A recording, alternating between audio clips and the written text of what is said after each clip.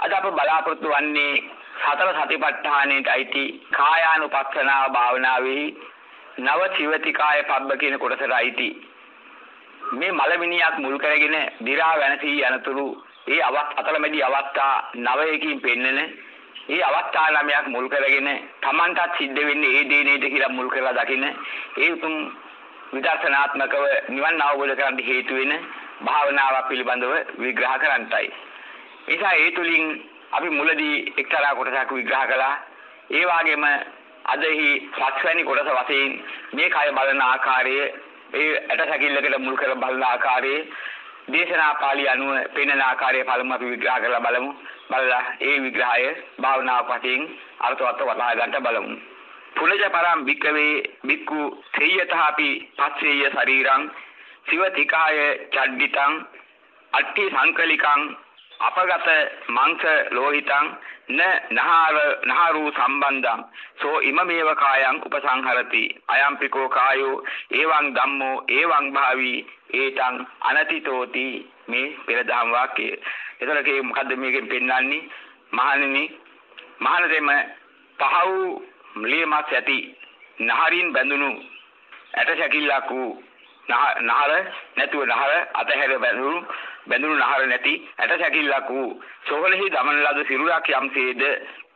හේතෙමි මේ මාගේ සිරුරද නිබඳු ස්වභාවය ඇත්තේය. මෙසේ වලතුලිය මේ ස්වභාවය නොයික්ම යයි මෙසේ නුවණින් තමන්ගේ ශරීරයේද ඒහා සංසන්දනය කර බලනවා. මෙන්න මේ ආකාර තමයි ඊළඟ අවස්ථාව.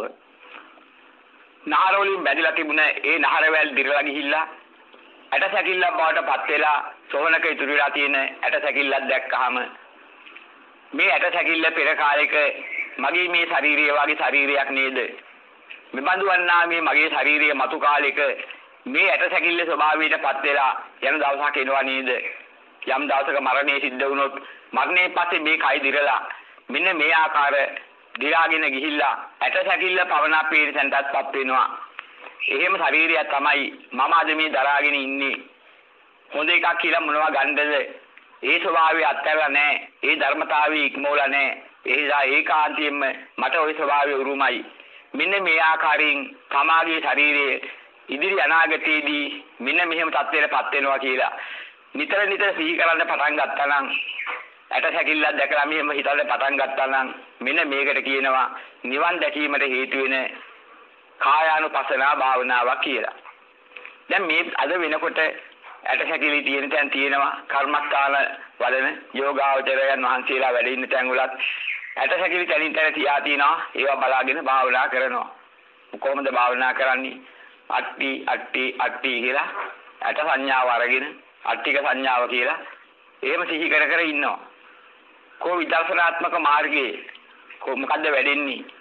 එහෙනම් ඒක වැහිලා නැද්දී භාවනාව හොනින් තේරුම් අරගන්න ඕනේ. ඒ භාවනාව වැහිලා තියෙන ආකාරයේ එහෙනම් අපි කොහොමද කරන්නේ කුමක්ද කරගත යුත්තේ? බුදු පියාණන් වහන්සේ දේශනා කළ ආකාරයෙන් තමන්ගේ කයට අනාගතයේදී මේ ටික සිද්ධ වෙනව නේද කියලා තමන්ගේ කය පිළිබඳව මුල් කරලා සිහි කරලා බලන්න පුරුදු වෙන්න ඕනේ. එහෙනම් මේ ඇටසැකිල්ල පෙර කාලෙක මේ මගේ කය වාගේ පළ තියෙන පුද්ගලයෙක් මේ වගේ පුද්ගලයෙක් හැටියට පෙනිච්ච මේ කයට සිද්ධ වෙච්ච දේ උරුමේ ධර්මතාවය මේක නේද? එහෙනම් ඒ වගේම මටත් මතු කාලයක මේ தත්ත්වයේ උරුමයි නේද? එහෙම උරුමකමක් තියෙනවා නම් මේ ඇට සැකිල්ල සත්වයේද?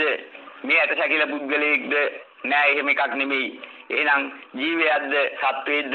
ජීවියෙක් සත්වයෙක් නෙමෙයි. එහෙනම් මේ පටවි ධාතුවේ සකස් වෙලා තද කොටසෙන් සකස් වෙලා තිබිච්ච කොහුල වාගේ මේ කයේ තියෙන කොටස නේද මේ තියෙන්නේ? දිර දිරා ගිහිල්ලා අන්තිමට දිරලා තියෙන කොටස නේද මේ ඇට සැකිල්ල හැටියට පේන්නේ? එහෙනම් ඒ தත්ත්වය උරුම කරගෙන දිරකල වෙන ස්වභාවයක් ඇති. එබඳු කයක් උරුම කරගෙන ඉන්න මම අද කවුරු වෙන්නද? කවුරු වෙලා කෙබඳු ආකාර සත්‍යයක් පෙන්වන්නද? කෙබඳු තත්ත්වයට ආරාන්තරයක් දරාගෙන මම මෙහෙම කෙනෙක් කියලා කියන්නේද? වැඩි කල්යර කාලයක් නෙමෙයි මේ ජීවිතයේ වයස බැලුවා අවුරුදු 30යි 40යි 50යි 60යි 70යි. තව කවුරු කීයද තියෙන්නේ මේ තත්ත්වයටපත් වෙන්න. එහෙනම් තව අවුරුදු 10ක් 15ක් ඇතුළතපත් වෙන්න පුළුවන් වැඩි මනක් හිටියොත්. එහෙම නැත්නම් අතරමඟ ජීවිතය වැළතුනොත් කොයි මොහොතේද දන්නේ නැහැ. එහෙනම් මාසෙකින් ওই තත්ත්වයටපත් වෙන එකක් වෙන්නත් පුළුවන්. අවුරුද්දකින් ওই තත්ත්වයටපත් වෙන කයක් වෙන්නත් පුළුවන් මේ තියෙන්නේ. අවුරුදු දෙකකින් තුනකින් ওই තත්ත්වෙටපත් වෙන කයක් වෙන්නත් පුළුවන් මේ තියෙන්නේ. එහෙනම් ඔය ආකාරයෙන් සිහි කරන්න පටන් ගත්තාට පස්සේ ඒ ස්වභාවය උරුම කරේ තියෙන මම ඒතර ඉඳගෙන ඒ ස්වභාවී උරුමේ ඉඳගෙන අද කවුරු වෙන්නද? කවුරු වෙලා කෙබඳු සත්‍යයකින් මම සතුටු වෙන්නද? මෙන්න මේ ආකාරයෙන් බලනකොට අසාර ලෝකයේ අසාරත්වයේ පේන්න පටන් ගන්නවා. ඇට සැකිල්ලේ ස්වභාවය තේරුම් ගන්නවා. කොහොමද තවත් ක්‍රමයක් තියෙනවා. මේ ඇට සැකිල්ල දැකලා ගන්නවා අරගත්තාම. ඒක මෙන්න මෙහෙම අපි ලෝවැඩ සංග්‍රහයේ කවි එකක් පෙන්නලා තියෙනවා. හොඳ හොඳට දහම් අර්ථයක් එන්න. මස්ලේ නැති ඇට බලුලෙව කන්නේ. කුස්පිරුමක් ඵලයක් නොලබන්නේ. ලෙස් ඒ සැපතෙහි ලොබ නොකරන්නේ. දොස් නොපෙනේ නුමිස දුක්මයි වන්නේ. අර්ථය හොඳින් වටහා ගත්තා නම් සිද්ධ වෙන්නේ ওই ටිකයි. මස්ලී නැති මේ ඇට කැල්ලක් ඉවට බල්ලෝ ලෙව කනවා. හපහපා ඉන්නවා. උගේ බල පිරින එකක් නෙමෙයි ඒක. නමුත් බල්ලෝ පොර කනවා අය වගේ දුගඳට ආසා කර කර ඇට කටු දිගේ ඒව කන ළඟලනවා ඇට කටු කාලා බල පිරෙන්නේ නැහැ. ඒ වගේ තමයි මේ පස්කම් සම්පත්තිය. පංචකාම සම්පත්තිය හරියට ඇට ගොඩක් වාගේ කොහොමද එහෙම කියන්නේ? පස්සෙන් යනවා ආස්වාද විඳින්න යනවා. නමුත් කවදාවත් ඇතිවීමක් නැහැ. බඩ පිරුණා වාගේ සැනසීමක් නැහැ. දැන් මේ පත්කම් සම්පත්තියේ වින්දා දැන් ඉතින් ඇති. ඇතිපදන් වින්දා මීට වඩා මට විඳින්න දෙයක් නැහැ පූර්ණයි. මේ જાති එකක් නම් කවදාවත් කාටවත් කියන්න බෑ. තව තවත් අසහනයටපත් කර කර ඇට ගොඩක් පසුපස යනවා වාගේ ඒ හිස්වන්නා වූ පංචකාමයන් පස්සේ ලෝක සත්‍යය යනවා මේ ඇට සැකිල්ල උපමා කරගෙන අපි මේ සම්පත් කියන ඒවා ස්වභාවය මෙහෙම දකින්න පුරුදු වෙන්නත් ඕනේ. මෙන්න මේ ආකාරයෙන් දකිනකොට තමයි විදර්ශනා නුවණ වැඩින්නේ හරියාකාරව ලෝකේ අසාරත්වයේ දකින්න පටන් ගන්නේ.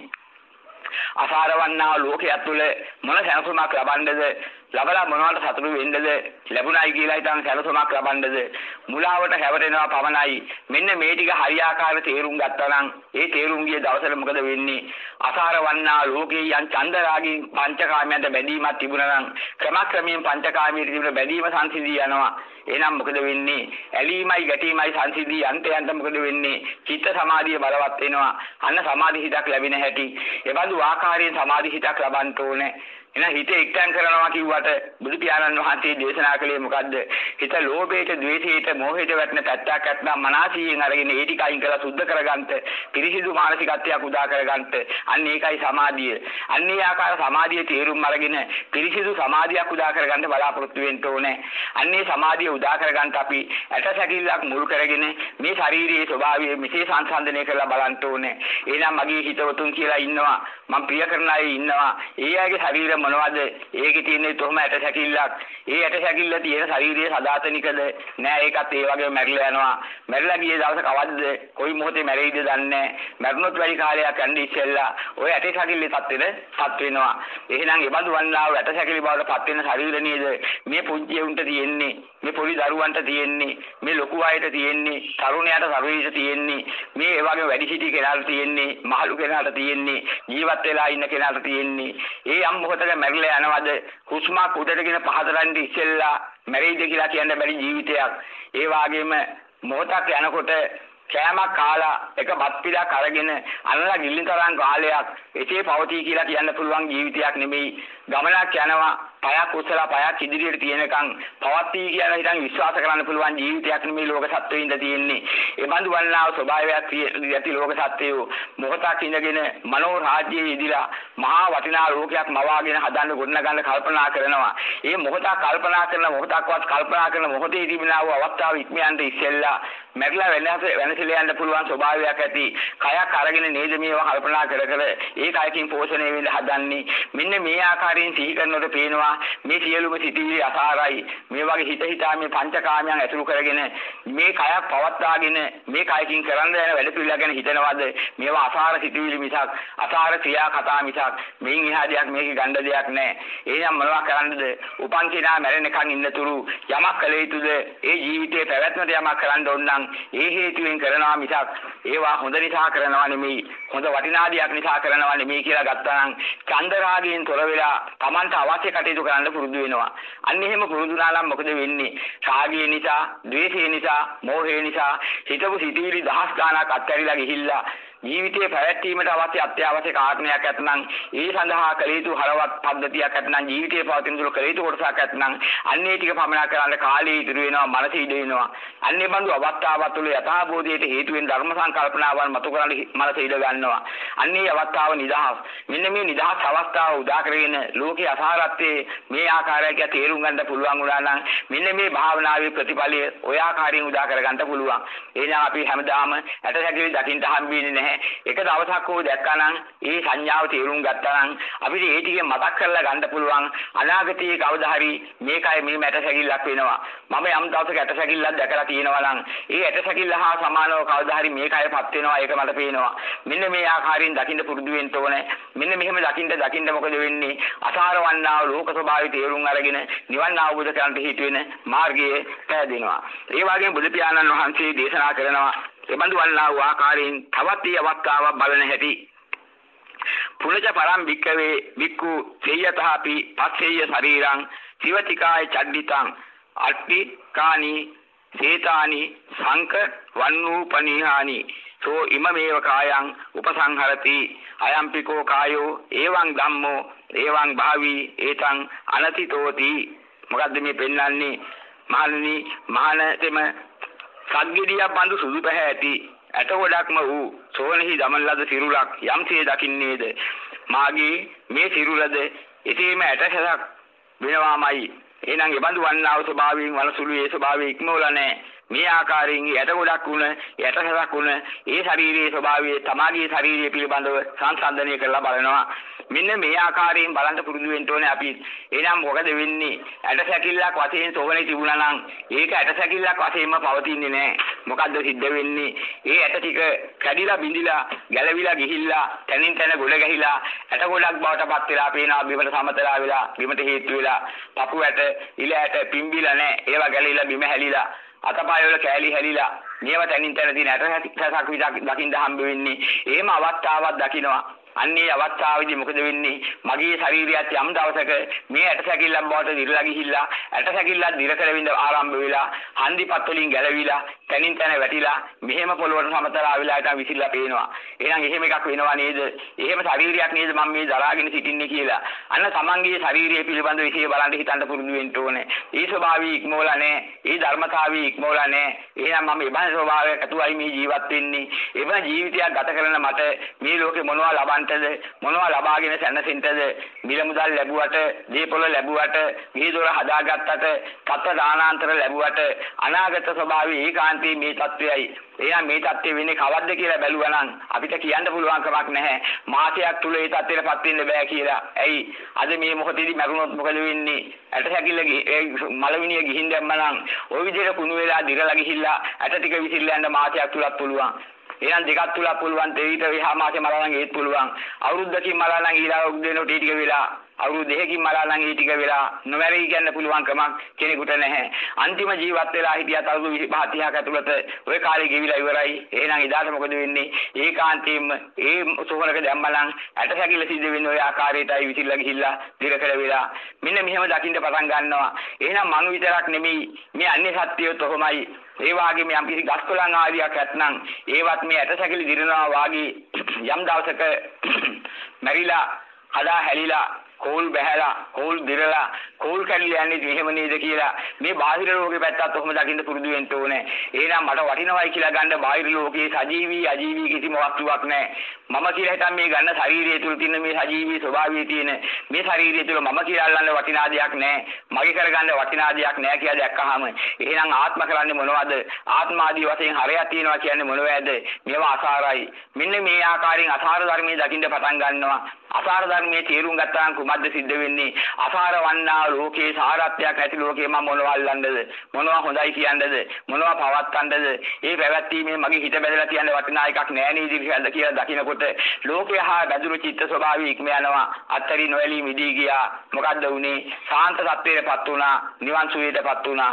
එහෙනම් මේ නිවන් සුවයටපත් වුණු හිත එබඳු වන්නා ලෝක පැවැත්ම සංඛාර ගොඩනගන මානසිකත්වයෙන් තොරයි. ඒ නිසා මොකද වෙන්නේ? සංඛාරෙන් දෝද වෙනවා. සංඛාර සංඛාර නිරෝධ වුණා නම් විඥාන නිරෝධයි. නාම රූප සලආයතන ස්පර්ශ වේදනා තණ්හා උපාදාන භව ජාති ඔක්කොම නිරෝධයි. එහෙනම් මතු ජරා මරණ ශෝක පරිදේවයන්ට හේතු කාරක වන මානසිකත්වයේ නිරෝධ වුණා නම් අන්නේ නිසා එබඳු වන්නා වූ මතු දිර කර වෙන්නා වූ කයක් ලබන තිබිච්ච හේතුවෙන් ඔහු නිදහස් වෙනවා. අන්නේ තින් නිදහස් වුණා නම් නිවන් සුවේ ලබන්නා වූ උත්තරීතර නිදහස ලබන්න හේතු වාසනාවන්තයෙක් වෙනවා.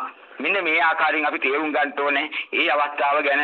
ඒ වගේම බුදු පියාණන් වහන්සේ දේශනා කරනවා නැවතත් ඒ ආකාරයෙන්ම මේ ශරීරය ගැන බලන්ට පුනච පරං බික්කු තේයතාපි පස්සේය ශරීරං සිවතිකාය චඩ්ඩිතං අට්ටිකානි පුංජිකානි තේරෝ වස්සිකානි සෝ ඉමමේව කායං උපසංහරති අයම්පිකෝ කායෝ එවං ධම්මෝ එවං භාවි ඒතං අනතිතෝති. දැන් බෙන්දලා මොකද්ද වෙලා තියෙන්නේ? මේ විදිහට කියනවා මහන්නේ මහානතෙම සෝහනක දමන ලද අවුරුද්දක් ඉක්ම ගිය තැන තන තන ගොඩ ගැසුණු ඇටසැසක් වූ සිරුර දකින්නවා නම් අන්නේ වගේ දැකලා මගේ මේ කයත් මෙබඳු ස්වභාවයෙන් යුක්තයි මෙසේ වනසුළුයි මේ ස්වභාවය ඉක්මවලා නැහැ කියලා තමන්ගේ කයත් ඒ අමුතෙහි තනින් තන විසිරලා ගිය ඒ ඇටකොළ හා සමානව සංසන්දනය කරලා බලනවා. මෙන්න මේ ආකාරයට බලන්නේ පෙරසීමයි. මේ ආකාරයෙන් මේ කයේ ස්වභාවය දකින්නකොට කොහොමද සිද්ධ වෙන්නේ? වටිනා දෙයක් නෑ මේ ලෝකේ. ඇට ටිකක් දිරලා යනවා කෑලි කැඩලා යනවා. එහෙම ස්වභාවයක් ඇත්තාව මේ කයක් නේද මටත් තියෙන්නේ? අන්නේ ලෝක සත්‍යයලක් තියෙන්නේ. ලෝකේ හටගත්ත හැම දෙයක්ම දිර කළ වෙලා කෝල් දිරලා කෑලි කැඩලා යන්නේ කොහොම නේද? මේ වගේ හටගන්න ලෝකයක් තුල මොනවා පවත්තන්නද පවතින දෙයක් කොහෙද තියෙන්නේ? අසාර ලෝකයේ තුල මේ ස්වභාවය මේකයි. එහෙම ස්වභාවයක් ඇත්තා ලෝකයක යමක් මම කරන්න මගේ කරන්න මගේ ආත්මය කරන්න හිතනවා නම් ඒක මුලාවක් පමණයි. ඇත්තක් නෙමෙයි කියලා මෙන්න මෙහෙම දකිනකොට හිත මිදී යනවා. ඒ වේ තියෙන සම්බන්ධතාවයෙන් මිදී ගියා නම් ඒ වස්තුන්ට තිබෙන චන්දරාගී නිදහස් වුණා නම් ඒ හිත තුළ මොකද වෙන්නේ? රාග ක්ෂය වෙනවා දේශ ක්ෂය වෙනවා. මෝහක්ෂය වෙන්න පටන් ගන්නවා. මෙන්න මේ ක්‍රමය තුලින් රාගක්ෂය වුණා නම් ඒ නිවනයි ද්වේෂක්ෂය වුණා නම් නිවනයි මෝහක්ෂය වුණා නම් නිවනයි යම් තරමක්ෂය වුණා නම් ඒ වැඩුණු නිවන් මගයි. හොඳින් තේරුම් අරගන්න ඕනේ. මේ ආකාරයෙන් නිවන් අවබෝධ කරගන්නට මෙසේ සංසන්දනය කරලා මේ ක්‍රමයේ බලන්ට. ඊට පස්සේ ඉන්පසු බුදු පියාණන් වහන්සේ දේශනා කරනවා නවවැනි අවස්ථාවට සිද්ධ වෙන දේ මොකද්ද මේ පෙන්වන්නේ? පුනච පරම් භික්කවේ භික්ඛු සියතාපි පස්සෙය ශරීරං සිවතිකා චඩ්ඩිතං අට්ටිකානි භූතීනි තුන්නක ජාතානි සෝ ඉමමේව කායං උපසංහරති අයම්පිකෝ කායෝ එවං ධම්මෝ එවං භාවි ඒතං අනතිතෝති මෙන්න ඊළඟ දකින්න එකක් මොකද්ද කියන්නේ? මේ විදිහට මේ ශරීරය පිළිබඳව බලනවා. මේ ශරීරයේ ඒ සොහනක දාලා හිටන් එහෙම කුණු වෙලා ඒ ඇට කෑලි කැඩිලා සුළු සුළු බවටපත් වෙනවා. සහල් කෑලි වාගේ ඒ වගේ තත්ත්වයකටපත් වෙලා මොකද වෙන්නේ? මෙන්න මෙහෙම සිරුරක් දැකලා මගේ මේ ශරීරයත් ඒකාන්තයෙන් මේ ස්වභාවයෙන් යුක්තයි. මෙසේ වනසුලි. මේ ස්වභාවය ඉක්මවලා නැහැ. ඒ බඳු වන්නා මේ ඇට කෑලි සුළු සුළු වෙලා මේ ආකාරයෙන් දිරකල වෙලා යන හැටි දැකලා මගේ ශරීරය කියලා යමක් ඉතුරු වෙන්නේ නැහැ. මෙහෙම සුණු වෙලා දිරලා ගිහිල්ලා කැඩිලා යනවා. එපන් ස්වභාවයක් ඇත්තාම මේ ශරීරෙහි මොනවා ලබා ගන්නටද මොන හරයක් ගන්නටද එකම දෙයක්වත් පවතිනවායි කියලා ඉතුරු වෙන දෙයක් මේ ශරීරය තුල නැහැ නේද? තිබුණා වූ තද කොටස වල ඇට ටික දත් ටික ඒවා ඔක්කොම දිරකල වෙලා සුණු සහල් වාගේ දිරලා කෑලි කැඩිලා ගිහිල්ලා ඒ කෑලි ටිකත් පේන්නේ නැති ඉන්න දිරලා ගියාට පස්සේ කෝ ශරීරය කියලා තිබුණ බඩ ලකුණක්වත් එහෙනම් මේ දිරන්නේ නැති කැඩෙන්නේ නැති පවතින එකම දෙයක්වත් මේ ශරීර කූඩුව තුල නැහැ. එහෙනම් මේ ශරීර කූඩුව තුල තියෙන්නේ මොනවද? හටගත්තා නම් වැහැරිලා ගිහිල්ලා ඒ වගේම කුණු වෙලා දිරලා ගිහිල්ලා පොඩ්ඩක්වත් පේන්න විද්‍යාමානෙන් ඉතුරු වෙන්නේ නැතුව දිරකල වෙලා වෙනසලා කෙලවර වෙනදී මිසක් පවතින දෙයක් එකක්වත් ඇත්තේ නැහැ. එහෙනම් මෙබඳු වන්නා වූ ශරීරය තුල ඉඳගෙන මම මොනවා පවත්තන්ටද මොන පවතින දෙයක් හා සම්බන්ධ වෙන්නද මොන ප්‍රයත්නක් අගය කරන්නද කියලා මෙන්න මෙහෙම දකිනකොට කය පිළිබඳව අංශු මාත්‍රයෙන් හෝ බැඳීමක් හැදීපත් තිබුණා නම් ඒ තත්ත්වය ඒකාන්තී ඉක්ම යනවා. ඒ ධර්මතාවය ඉක්මවන්න බැරි බව දැනගත්තා නම් ඒ ධර්මතාවය ඉක්මවන්න ගන්න මුලා මානසිකත්වයේ මුලා උත්සාහයත් ඇරී යනවා. එහෙනම් කය පිළිබඳ තියෙන බලාපොරොත්තු කෙලවර වුණා නම් ඒ කයත් එක්ක සම්බන්ධ වෙලා පංචකාම වස්තුන් පිළිබඳ බැඳී රැඳී තියෙන බලාපොරොත්තුවක් තිබුණා නම් ඒ අසාර දෙයක් මිසක් කොහොමද සාරවත් වෙන්නේ? ඒක දකින්න පටන් ගන්නවා. ගහක් අසාර නම් ගහේ හේවණල්ල සාරවත් වෙන්නේ කොහොමද?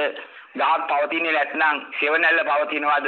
එහෙනම් අපි යම් පංචකාමයක් ඇසුරු කරන්න ගියේ මේ අසාර වස්තුන් ඇසුරෙන් නම් අසාරදී වැසිලා යනකොට එහි ඡායාව වගේ මතුවෙච්ච ඒ කාම සංකල්පනා ඒ වගේම කාම අදහස් කාම වේදනා කොහොමද පවතින්නේ? ඒවත් අසාර මිසක් සාරත්වයක් කොයිද කියලා දකිනකොට ගතේ ස්වභාවය මුල් කරගෙන එයින් ගොඩ නැගින්නා හිතේ ස්වභාවය දකින්න පටන් ගන්නවා. එහෙනම් ගතත් අසාරයි හිතත් අසාරයි. ගතයි හිතයි දෙකම අසාර නම් සාරත්වයක් කොයින්ද ගතෙන් හිතෙන් තොර ලෝකයක් කොයින්ද එහෙනම් ගතයි හිතයි දෙක යම් තැනක හිබඳු ආකාරයෙන් හෝ පහළ වුණා නම් ලෝකයේ එතන. ගතයි හිතයි දෙක යම් තැනක පහළ වෙන හේතුව ඇති වුණා නම් ලෝකයෙන් කෙලවරයි ලෝකේ ඉවරයි. එහෙනම් ගත හිත කියලා පහළුනේ මොකද්ද? මුලාවේ අසහනයේ ප්‍රතිඵලයක්. එහෙනම් දුකක මුලක්. එවන්දු දෙයක් පහළ වුණා මිස සැනසුමක් පහළ වුණේ නැහැ කියලා මෙන්න මේ විදිහට දකින්න පටන් ගත්තාම මොකද්ද සිද්ධ වෙන්නේ? ලෝකයේ පිළිබඳ සියලු චන්දරාගයන්ගෙන් මිදෙනවා. චන්දරාගයෙන් මිදී ගිය මානසිකත්වයේ තව ලෝකයක ඇලීමට හේතු වෙන සංකාර හා සම්බන්ධ නැහැ. විසංකාරයි. විසංකාර ගතං චිත්තං තණ්හානං කය මජ්ජගා කියනා වූ ආකාරයෙන් මේ සංඛාරයන් හා සම්බන්ධී විගුණ මේ ප්‍රභාස චිත්ත ස්වභාවයේ මතු ඇලීමට හේතුවක් නැති තත්ත්වයටපත් වෙනවා. එහෙනම් කර්ම විපාකයක් වශයෙන් පෙර කරන ලද කර්මයන්ගේ විපාක වශයෙන් පහළ වෙන මේ කයත් ඒ වාගේම වස්තු රූපයක් මුල් කරගෙන හිත හට ගැනීමට උනේ මනේන්ද්‍රියත් ඒකේ තිබෙනා වූ ආයත ගෙවිලා ගිහිල්ලා කෙලවර වෙච්ච දාට නැවතත් ගොඩ නැගීමට හේතු වන්නා වූ සංඛාර නිර්මාණය නැති නිසා සංඛාර නිරෝධයි. සංඛාර නිරෝධ වුණා නම් මොකද වෙන්නේ? විඥානයක් මතු බලාපොරොත්තුවක් අවිද්‍යාව සහගතව ගොඩ නැගුණා නම් මතු පැවැත්මට හේතු වෙන විදිහේ විඥානය පහළ වෙන්න තිබුණා නම් ඒ අරිහත් ඵලයත් සමග ඒක නිරෝධ වෙලා ගියා. එහෙනම් නැවත වාරයක් විඥාන නිරෝධ නම් නාම රූපය බහගන්නේ කොහාටද? ගවත් අදහස් බහගන්නේ කොහාටද වටිනවා කියන අදහසක් බහගන්න දෙයක් නැහැ. එහෙනම් නාම රූපත් නිරෝධයි. එහෙනම් අසකල දිවනාසී ශරීරයේ මල යමක් යම්තරකින් හටගත්තද අතුරු කරාද අතුරට හේතු වෙන නිරෝධ වුණා නම් ඉන්ද්‍රිය තියෙනවා මැරෙනකන් ආයතන වශයෙන් පත් වෙන ආයතන ස්වභාවය නිරෝධයි. එහෙනම් මොකද වෙන්නේ? ඒ බඳු වන්නා වූ මුලා ස්පර්ශයක් අරගෙන හතුරු වෙන්න බලාපොරොත්තු වෙනවද? ඒ සඳහා සියලු උත්සාහය වීර්ය නිරෝධ නම් ස්පර්ශات නිරෝධයි. එහෙනම් මේ ස්පර්ශයක් නිසා හටගන්නා යම් බින්දනයක් වේදනාවක් තිබුණා නම් ඒ ලෝක සම්බන්ධයෙන් වශයෙන් තිබෙනා වූ ලෝකාස්වාද වේදනාවක් තිබුණා නම් ඒ වේදනාවෙන් නිදහස්. එහෙනම් ඒ වේදනාව හා සම්බන්ධ වෙන වේදනා නිරෝධයි. එහෙමනම් තණ්හා වශයෙන් ඇලීමට හේතුවක් තිබුණා නම් අවිද්‍යාව දුරු වෙලා යථාභූතයෙන් දැකලා අල්ලන්න වටිනා දෙයක් ලෝකේ නැහැ කියලා. එහෙනම් මොකද වෙන්නේ? අන්න ඒ ස්ථානයේ තණ්හා වශයෙන් බැඳෙන හේතුවක් නැහැ තණ්හා නිරෝධයි. එහෙනම් ඇලෙන්න හේතුවක් නැහැ තණ්හා නිරෝධයි. එහෙනම් මොනවට බැඳින්නද? ලෝකේ හා තිබුණ යම් බන්ධනයක් තිබුණා නම් ඇත පිළිබඳ රූපේ පිළිබඳ කන පිළිබඳ ශබ්දේ පිළිබඳ නාසය පිළිබඳ ගන්ධය පිළිබඳ දිව පිළිබඳව රස පිළිබඳව කය පිළිබඳව පොට්ටබ්බයන් පිළිබඳව මන පිළිබඳ ධර්මයන් පිළිබඳ යම් බලාපොරොත්තුවක් තිබුණා නම් ඒ බලාපොරොත්තු සම්බන්ධයේ වුණා නම් මතු මතුත් මේවා පැවැත්වීමට කිසිම අවශ්‍යතාවයක් නැහැ. අසාර වන්නා පැවැත්ම තියෙන මේ තුලයි. අසාර පැවැත්මට අයිති වන්නා ලෝකයේ උත්තරයි ලෝකයේ තියෙනා වූ යම් තරමක් තිබුණා ලෝකයේ චන්දරාගයේ තිබුණා නම් ඒ සියලු ලෝකයේ චන්දරාගයේ ඉවර නම් ලෝකයේ හා සම්බන්ධී කෙලවරයි. එහෙනම් මේ අන්තිම ජීවිතයේ අවසානයේ මතු උපතකට හේතු හේතු වෙන්නා වූ සත්‍ය කෙලවර නම් නැවතත් ඇසක් හටගන්න තිබුණු හේතුව නැති නිසා කනක් දිවක් නාසයක් කයක් මලක් හටගන්න හේතුව තිබුණා. හේතුව නැති නිසා රූප ශබ්ද ගන්ධ රස ස්පර්ශ ඇතුළට හේතුවක් වෙනනම් ඒ හේතුව නැති නිසා ලෝකයේ පැවැත්මට ලෝකය හා සම්බන්ධී පැවැත්මකුත් ඒ වාගේ ඉපදීමට හේතු වෙන්නා මූල ධර්මයක් වශයෙන් තිබුණ දෙනකුත් නැහැ. මේ සියල්ලෙන් වෙන් වුණාද?